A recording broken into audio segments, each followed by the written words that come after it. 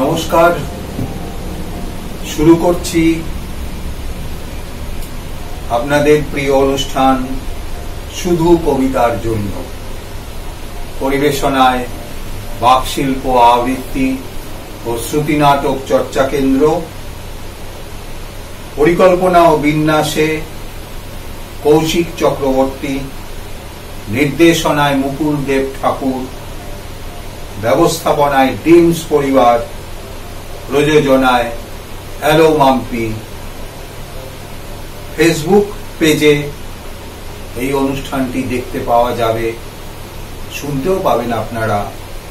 Bak Shilpa B A K S H I L P A Bak Shilpa এবং ইউটিউবে দেখতে পাবেন। অবশ্যই শুনতেও পাবেন। Dims Paribar D I M S P A R I B R শুরু করছি আমাদের আজকের এই অনুষ্ঠান শুধু কবিতার জন্য।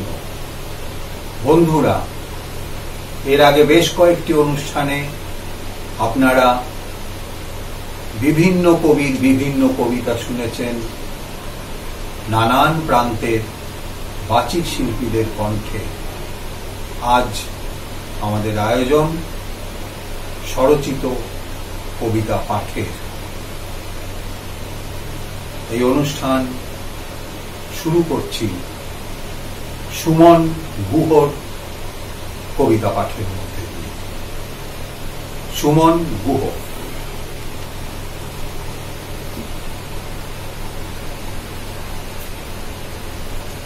রাজহুকুম।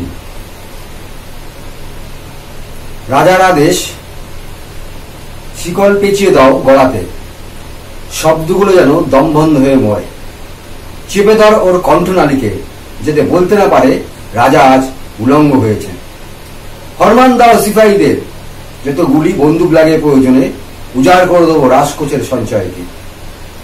শহরে অলিতে গলিতে রাজপথে, গ্রামের মাঠে ঘাটে পাহারা বসাও ঘরে ঘরে। শব্দগুলো যাতে জোট বাঁধতে না পারে। রাজহুকুম রাজহুকুম। যত কবি, লেখক, সাংবাদিকদের ধরে আনো দলে দলে, শুধু পেটোয়াগুলোকে বাদ দিয়ে বেয়াদবগুলোকে নিয়ে আসো কলার ধরে। চেপে ধরো শ্বাসনালী, যাতে স্লোগান দিতে না পারে। উপরে দাও দু চোখ, দেখতে না পারে। ভেঙে দাও হাতের আঙুল, যাতে দেওয়ালে দেওয়ালে বিপ্লবের আগুন জ্বালাতে না পারে। মন্ত্রী, ডিগ্রি জারি কর প্রজাগণে যেন আজ সকলে অন্ধ বদিরের সাধন ভজন করে। আচ্ছা মন্ত্রী, একটু খোঁজ নাও, তো রাজ্যের কোণে কোণে। দেখো, কেউ কি দেখে ফেলেছে আমার ন্যাংটো শরীরকে? যদি দেখে ফেলে, লোহা সরাকা দাও চোখে ফুটিয়ে। হা হা হা হা, আমি রাজা।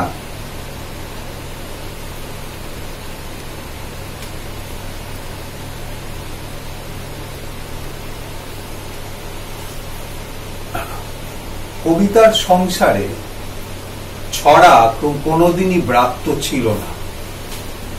কিন্তু রেশারেশি কবিতা এবং ছড়ার মধ্যে বরাবরে।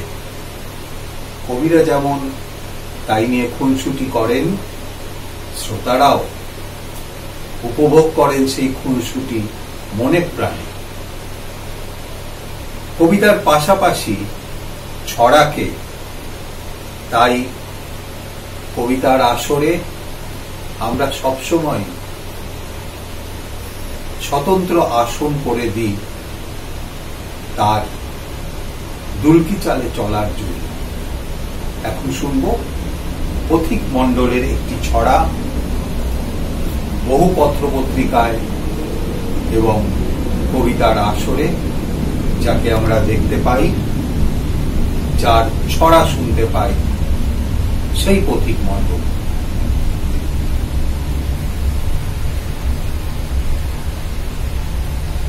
ছড়ার নাম যুগ বদলের খেলা। ঘাস জমিতে চাষ করলে ফলে যেমন সোনা, টাটকা সুতোয় কটকি চাদর যায় যে ভালোই বোনা। মোবাইলের টাওয়ার এখন পাওয়ার বাড়ায় কানে। দেখায় কত রিলিজ ছবি সিনেমা খড়ি জানে। এসে গেছে নতুন যুগ, শুধুই টাটা সুমোর।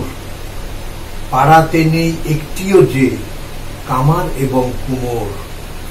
বাগদা চাষে চাকদা গেছে, আনতে ছেলে ডলার, মাধ্যমিকে ফেল করেছে, এখন মস্ত স্কলার কাটছে দিন রাত, কাটছে রাত, শুধুই ফেসবুকে এই জীবনের দিনগুলো যে কাটছে ভালোই সুখে, জমেছে মেদ, জমেছে খেদ, খাচ্ছি যে শর্করা, একটি বউ, একটি ছেলে, এই নিয়ে ঘর করা। যুগ বদলে এই সমাজে কত কি সবাই জানে, শিক্ষাদাতা শিক্ষিতদের বলুন গজল মানে। না জানারাই দিকে দিকে পদ্ম হয়ে ফোটে। আগের মতো চাঁদ, সূর্য ওই আকাশে ওঠে। আমরা একটি ছড়া শুনলাম, যে ছড়ায় নানান বিষয় চলে এসেছে ছড়াকারের কলমে, এবং যে বিষয়গুলো আমাদের প্রতিদিনের দৈনন্দিন জীবনে। এখন শুনব কৌশিক চক্রবর্তীর কবিতা। যিনি লেখেন কম, কথা বলেন বোধ হয়, তার চেয়ে আরও কম। কিন্তু বিভিন্ন পত্রপত্রিকার পৃষ্ঠায় কচিত কখনো যার একাত্তি কবিতা পড়বার সুযোগ আমাদের হয়, সেই কবিতায় যাত্রী নিয়ে দেয়। ভালো কবিতা। শুনি কৌশিক চক্রবর্তীর স্বরচিত কবিতা তার নিজের কণ্ঠে। আমার প্রথম নিবেদন শক্তি রূপে আসলে এই কবিতাটা সমস্ত নারী শক্তিকে উৎসর্গ করা। নীল আকাশে সাদা মেঘের ভেলা যাচ্ছে ভেসে। ধানের ক্ষেত গ্রাম ছাড়িয়ে দিগন্তে গেছে মিশে। রোদের আলোয় কাছের বাগান আনন্দে যেন ভরে। ঢাক বাজিয়ে ডুলির কাঁধে দুগ্গা আসছে ঘরে। মাঠের মাঝে চাষি বউ কাস্তে হাতে ধরে। দুগ্গা যেন শক্তি রূপে আজ তারই ভিতরে। শহর সাজ্যে অট্টালিকায় রাজমিস্ত্রির হাতে। বউটি তার সমান তালে কাজ করছে সাথে। মাখা সিমেন্ট মাথায় নিয়ে উঠছে সিঁড়ি ধরে। দুগ্গা যেন শক্তি রূপে আজ তারই ভিতরে। কাজের মাসির ঘুম ভেঙে যায়, পাখি জাগার আগে। ফার্স্ট ট্রেন ধরে কলকাতায়, শহর তখন জাগে। বাবুদের বাড়ি হাড় ভাঙা খেটে রাতে ফিরে আসে ঘরে। দুর্গা যেন শক্তিরূপে আজ তারই ভিতরে। কলেজ থেকে অফিস ছুটছে কারখানা থেকে মহাকাশে শক্তিরূপে দুর্গারা চলেছে ভিড় ট্রেন ট্রাম বাসে। পুজো আসে, পুজো যায়, দুর্গা যায় কি ফিরে? শক্তিরূপে দুর্গারা থাকে, তোমায় আমায় ঘিরে। আমরাও চাই নারী শক্তির জয় হোক, শুধু কবিতায় নয়, বাস্তবের মাটিতে বন্ধুরা, আগেও আপনাদের সঙ্গে মুখোমুখি আলাপচারিতায় বলেছি, কবিরা কত অক্লেশে তাদের ব্যথা, যন্ত্রণা, শোক, সন্তাপকে গোপন করে, আড়াল করে রেখে, অদৃশ্য রক্তক্ষরণকে দূরে সরিয়ে রেখে, কত অসাধারণ সৃষ্টি। মেলে ধরতে চান তার প্রিয় পাঠকদের জন্য। বলা হয়, ছোট গল্পের বিষয় যদি জীবনমুখী হয়, তাহলে আধুনিক কবিতাও এতটাই আধুনিক হয়ে উঠেছে আজকাল যে তা যেন গল্পেরই হাত ধরাধরি করে চলেছে। অর্থাৎ জীবনের এমন কোনো বিষয় নেই যা কবিকে স্পর্শ করে না, যা কবিতায় উঠে আসে না কবির লেখনীতে। তেমনই একটি কবিতা, শিরোনাম, একা, অন্ধকারে। হাসপাতালে সাদা বিছানায় এখনও শুয়ে আছে আমার বোন। যন্ত্রণায় কাতর অসুস্থ, ক্লান্ত বিষণ্ণ অনেক কথা বলতে চেয়েও না বলতে পারার কষ্টে অস্থির। দুটো চোখে গভীর প্রার্থনা। একদিকে অক্সিজেন, অন্যদিকে স্যালাইন সাজানো।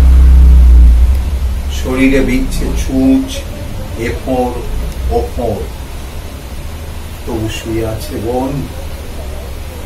একা অন্ধকার।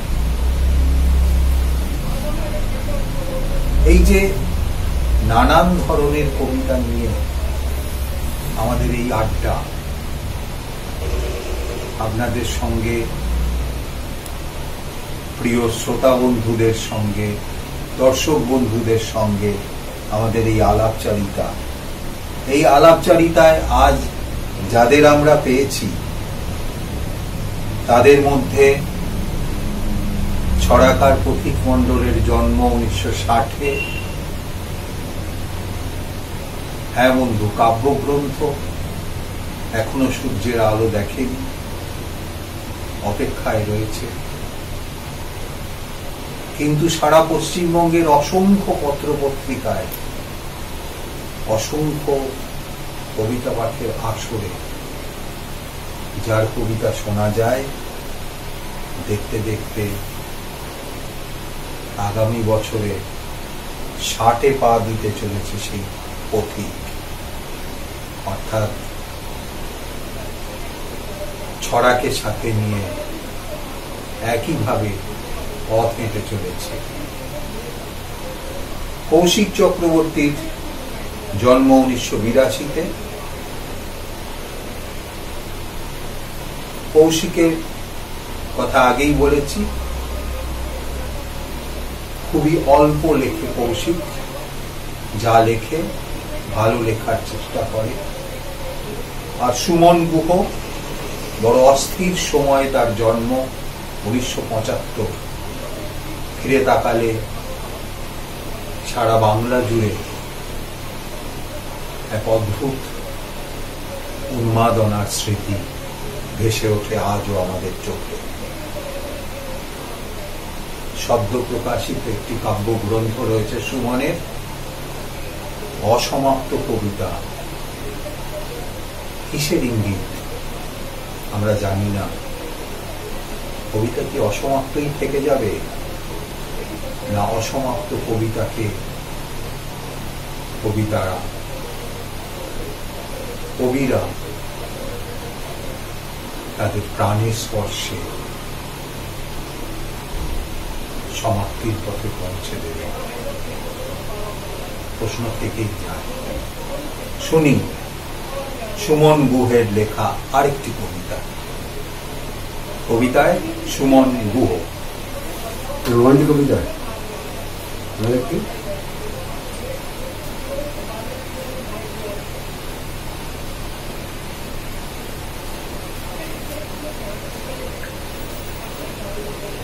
কবিতা, কালো টিপ। একটা ছোট্ট কালো বিন্দুতে ফিরে পেয়েছি হারিয়ে যাওয়ার ইচ্ছাগুলিকে এক মনে যখন তাকিয়ে থাকি, জোড়া ভুরুর মাঝে দেখেছি যাযাবর পাখির ঘর বাঁধার স্বপ্ন, উড়ন্ত মেঘের বৃষ্টি হওয়ার গল্প, মজে যাওয়া নদীর বর্ষার জলে উন্মত্ত, পাতাঝরা গাছের প্রত্যাশার বসন্ত। দেখেছি গধূলির বুক জুড়ে রং ধরা সীমাহীন দিগন্ত। ছোট বিন্দু হাতছানির ডাকে, মায়াময় জ্যোৎস্না মেঘে। অনন্ত পথ হেঁটে প্রেমের অপার সৌন্দর্য দেখেছি তোমার কপালে ছোট্ট কালো দিকে বন্ধুরা, বাংলা ছড়ার জগতে এমনই একটা বৈভব রয়েছে। আমরা কাকে ছেড়ে কাকে দেখি? অসাধারণ, সুন্দর সুন্দর সব ছড়া। লিখেছেন ছড়াকারেরা দশকের পর দশক ধরে। অন্নদা শঙ্কর রায়, অমিতাভ চৌধুরী থেকে শুরু করে সরল দে রূপক চট্টরাজ, এরা কেউই কম যান না এই বিষয়ে। তাই কবিতার পাশাপাশি ছড়ার আকর্ষণটাও থেকে যায়, শ্রোতাদের কাছে। শুনি প্রতীক মণ্ডলের লেখা আরেকটি ছড়া। ছড়ার নাম সাদা কাঠ। খুড়োর বাড়ির খড়ের চালে বসল সাদা কাঠ। কাকা স্বরে শুধুই ডাকে, সবাই তো অবাক। লাঠি হাতে বলেন, খুড়ো, পালা পালা পালা। সাত সকালে কাকের ডাক, এ তো মহা জ্বালা কাক দেখতে পাড়ার লোকে হুড়মুড়িয়ে পড়ে। কাকের খবর ছড়িয়ে গেল সবার ঘরে ঘরে। লাঠি হাতে যুবক দল, যেই না হলো জড়ো। বলল, খুড়ো, তোমরা এবার শুধুই পকেট ভরো। যায় না দেখা সাদা কাক বলল, সবাই হেসে। ফেলল সবাই পয়সা, টাকা কাক দেখতে এসে। রিপোর্টার খবর পেয়ে এলো দলে দলে। এমন কাকের খবরটাও টিভিতে প্রচার চলে। ভাবলো লোকে, কাকটা তবে খুঁড়োর চালেই থাক। সন্ধ্যা হতেই ডানা মেলে, পালালো সেই কাক। শব্দ নিয়ে এই যে নানান রকমের খেলা, এই যে নিজেদের ইচ্ছে মতন কাটা ছেঁড়া করে আবার নতুন ভাবে সাজানোর যে খেলা, এ খেলা কবিদের একান্তই নিজস্ব, পুরোপুরি ব্যক্তিগত। কিন্তু যখন তা প্রকাশিত হয় কোনো গ্রন্থে, কোনো পত্রিকায় তখন তা হয়ে যায় পুরোপুরি পাঠকে এই যেভাবে আজকের অনুষ্ঠানে শুধু কবিতার জন্য এই অনুষ্ঠানের ছড়া এবং কবিতাগুলো পৌঁছে যাচ্ছে আপনাদের সকলের কাছে, এখন শুনব কৌশিক চক্রবর্তীর লেখা ভিন্ন স্বাদের আরেকটি কবিতা কৌশিক চক্রবর্তী। বহুরূপী। আরশিতে যখন ধরা পড়ে ছবি, চুপ কথারা হাসে। সভ্যতায় বড় বেমানান তুমি, তবু মাত উল্লাসে। কোন সূত্রে তোমায় বাঁধি, জীবনের বোঝো মানে? রবীন্দ্রগীতি তোমায় মানায়, নাকি রূপমের গানে? ভেঙে ফেলে আবার গড়। খেলিছ বিশ্ব লয়ে। শ্রদ্ধায় দেখি তোমার ছবি ভক্তি মেশানো ভয়ে। কলকাতায় কত মিছিল হাটে, সমর্থন বিরোধিতায়। পার্লামেন্টে গলা ফাটাও সর্বজন হিতায় অভিমানে চোখ চিকচিক করে, কখনো হাসি ঠোঁটে। তোমাকে বিশ্বাস করে রোজ পুবেতে সূর্য ওঠে। তোমায় ছবে বলে বৃষ্টি মাটিতে ঝরে পড়ে। অবাক চোখে তোমায় দেখি এক চিলতে ঘরে। নিয়ম ভাঙা খেলা তোমার, তবুও নিয়ম মানো। ঝুপড়ি থেকে অট্টালিকা মানিয়ে থাকতে জানো। বহুরূপী, বহুরূপে রয়েছ সবে মিশে। আষ্টে পৃষ্ঠে আমায় বাঁধো শুরুর থেকে শেষে।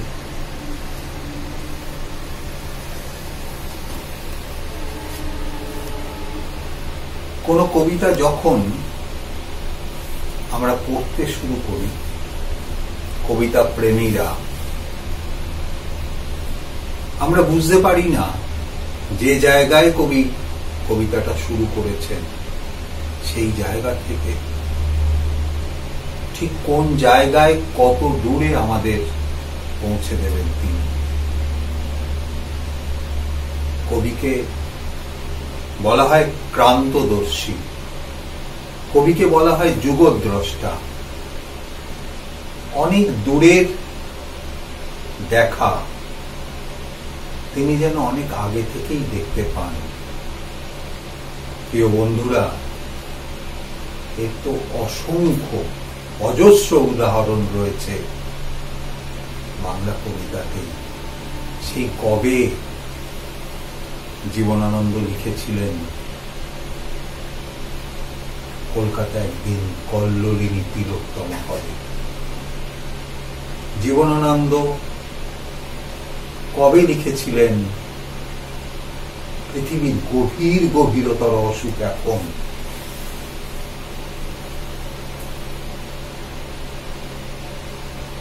আমরা তবুও ঋণী পৃথিবীরই কাছে।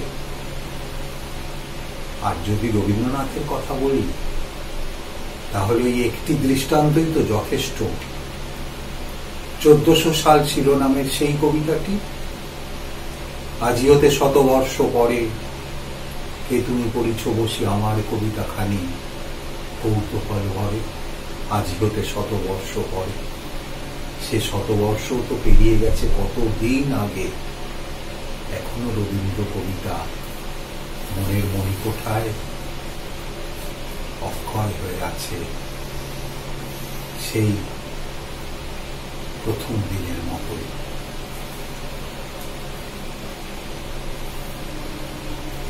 খুঁজে যাই মাটি ও আকাশ।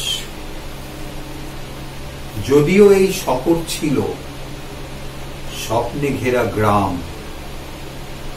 সবকিছু তার হারিয়ে গেছে, রয়েছে শুধু নাম। গাছগাছালি উধাও আগেই, ভরাট দিঘি পুকুর। সেই ছায়া কই শান্ত উদার? কোথায় বা সেই দুপুর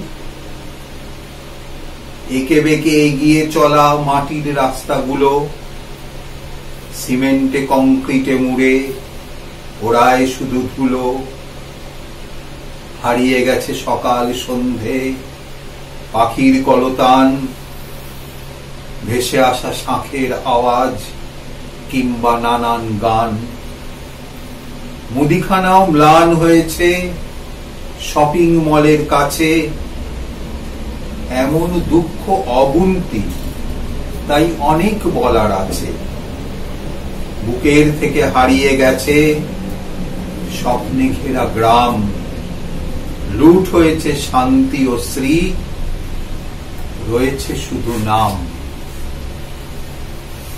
বন্ধুরা, আরেকবার আমি মনে করিয়ে দিই যে অনুষ্ঠান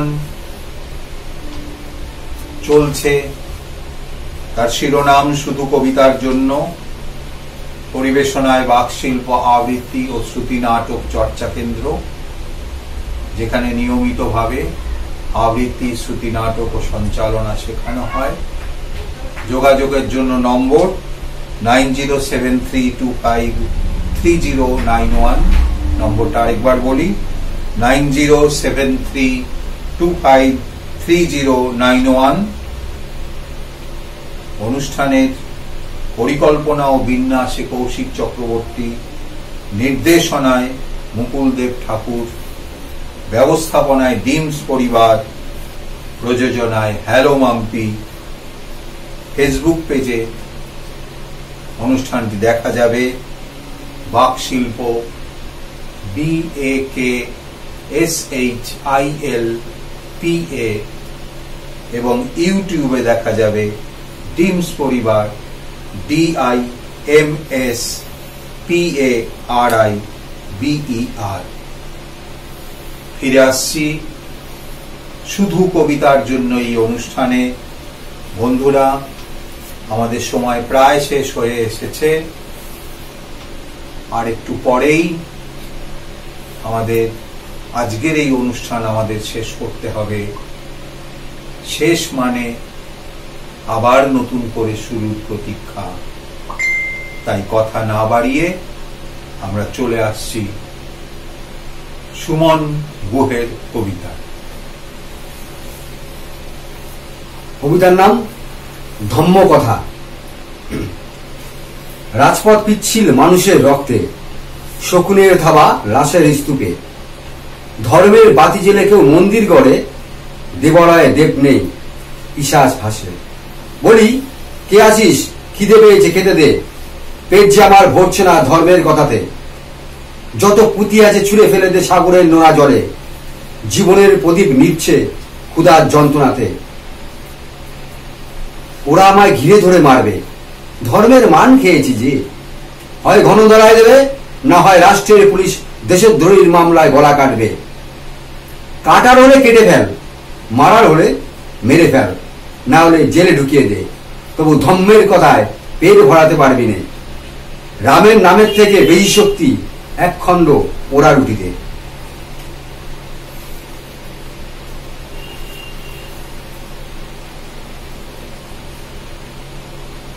কথায়, ছন্দে, সুরে অনেকটা সময় আমরা পেরিয়ে এসেছি, বন্ধুরা।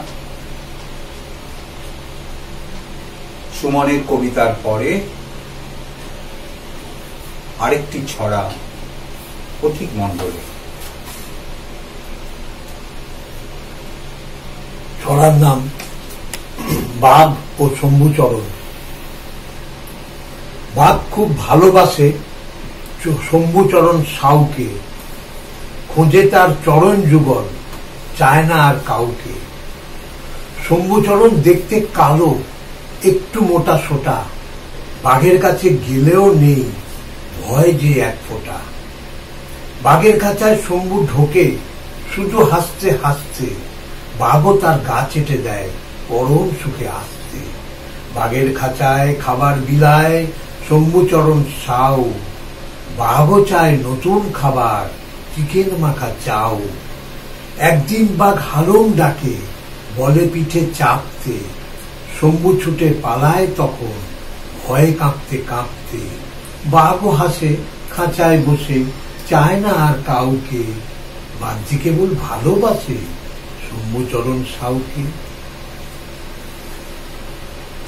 কত মজা, কত আনন্দ লুকিয়ে থাকে ছড়ায়। কিন্তু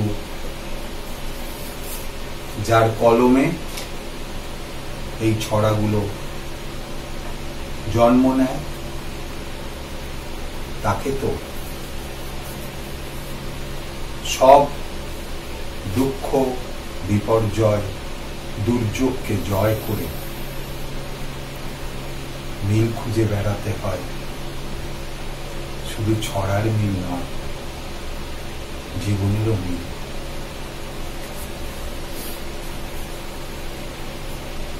এই নাও নীরব প্রতীতি, সম্রাটের অমূল্য মুকুট। এই নাও কোষ মুক্ত তীক্ষ্ণ তলোয়ার, নাও ছিন্ন করো। সব হিংসা, অনাচার, ঘৃণা ও অন্যায়।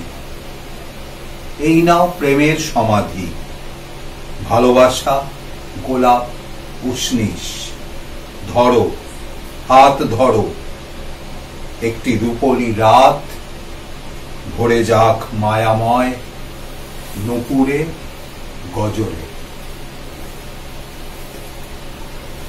আমাদের আজকের আসর শেষ করবার সময় হয়ে গিয়েছে। একেবারেই অন্তিম পর্বে চলে এসেছি আমরা। আজকের এই আসরের শেষ কবিতাটি আমরা শুনব কৌশিকের কাছে, কৌশিক চক্রবর্তী। সূর্য ঠিক কাল উঠবেই। হতাশার কবি নই আমি। কলম আমার পারে না লিখতে সে কথা। পাঁজর নিংড়ানো দীর্ঘশ্বাসের অব্যক্ত ব্যথা। আমি হাসতে জানি, বাঁচতে জানি, স্বপ্নে দুচোখ ভরতে জানি। আমি আশায় বাঁচি, ভালোবাসায় বাঁচি, অতীতে না। আমি আজ এখানে বাঁচি। আমি উষার আলো গায়ে মেখে কোমর বেঁধে চলতে জানি। আমি হাটে বাজারে স্বপ্নকে দেখি। স্বপ্নকে দেখি লাঙলের ফলায়। আমি স্বপ্নকে দেখি ধুধু প্রান্তরে কিংবা বটের ছায়ার তলায়।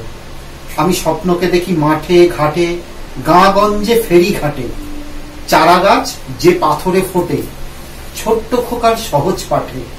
আমি স্বপ্নকে দেখি আকাশ ভেলায় গেও পথ যেখানে শহরে মেলায়।